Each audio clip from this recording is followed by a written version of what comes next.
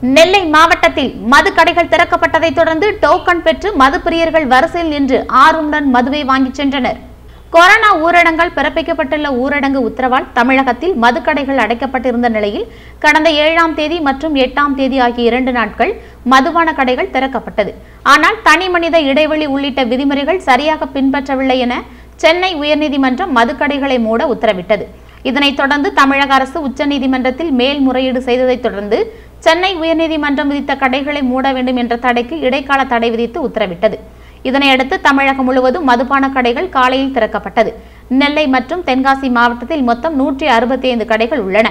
இதில் நோய் தொற்று அதிகம் பாதித்து தனிமைப்படுத்தப்பட்ட இடங்களில் உள்ள பனிரெண்டு கடைகள் தவிர மீதமுள்ள நூற்றி ஐம்பத்தி மூன்று கடைகள் திறக்கப்பட்டு செயல்படுகிறது. கடைகள் திறக்கப்பட்டதை கடைகளில் சமூக இடைவெளியை பின்பற்றி மதுபானம் வாங்கும் வகையில் தடுப்புகள் கயிறுகள் கட்டப்பட்டுள்ளது. மேலும் மது வாங்க வருபவர்களுக்கு டோக்கன் வழங்கப்படுகிறது. டோக்கன்களை பெற்றுக்கொண்டு மது பிரியர்கள் வரிசையில் நின்று ஆர்வமுடன் மது பாட்டில்களை வாங்கிச் செல்கின்றனர்.